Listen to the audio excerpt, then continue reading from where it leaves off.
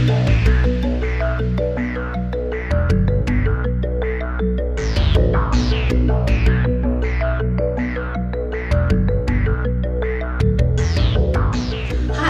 I'm Pamela Liberto, and I just love living at the beach.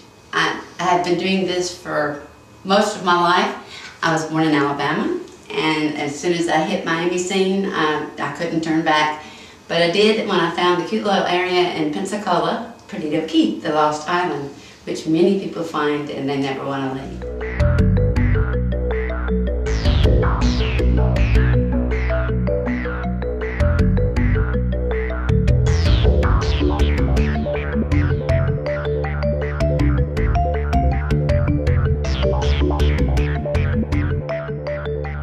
I do like to um, make crafts, and uh, I used to do a radio show. I've been in several movies. I've been um, a model in California. I got to fly out to California.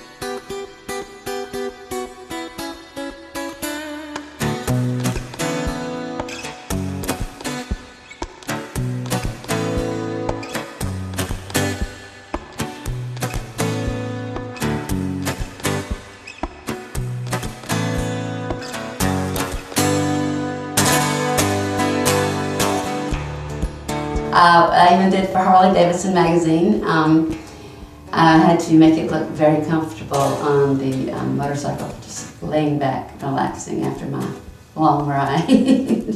I love to dance, and um, I'm not a groupie, but you know I do follow the musicians, the good ones, and I kind of like to hang out with them because they're pretty cool, and you know it always helps to music. That's the um, where it makes me feel happy. That's where I feel home.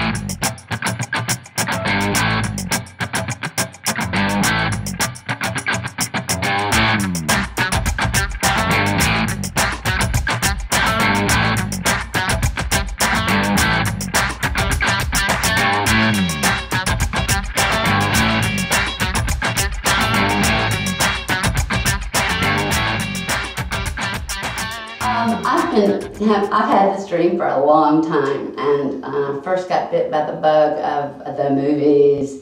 I was in high school. Imagine that, just yesterday. But um, my teacher, I'll never forget, Melba Nelson, and she kept going back to the screen. She says, "Look at her eyes. Look at her teeth. She needs to be in Hollywood." And I'm like, "Oh, stop!" You know, and then my head is like blowing up, huge, and. What I got told the other night was it's not the outer person that they see, it's the personality that's bigger than life that's what draws people to me like a bug to the zapper. And once you're zapped, you can't get away.